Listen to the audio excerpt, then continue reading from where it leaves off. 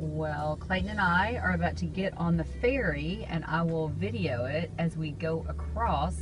Clayton takes this all the time. I don't know how to do it.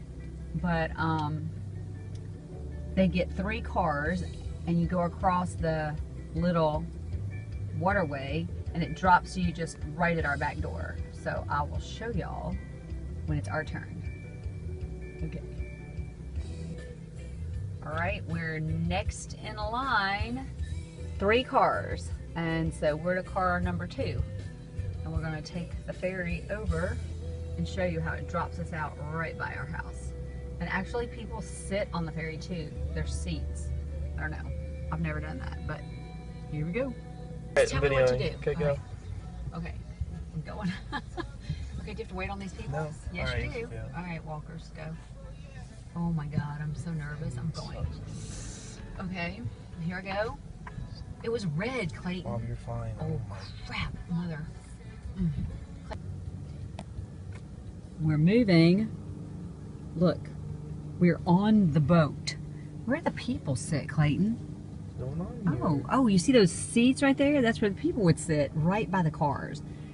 Look at that. That is so crazy to me. And look, here's the guy's driving right there. Oops. There you go. You can just see his leg, kind of. Yep. Isn't that crazy? Oh my God, this is so fun. If I don't know how to get here because I don't have a good sense of direction, but Clayton does, so he takes it all the time.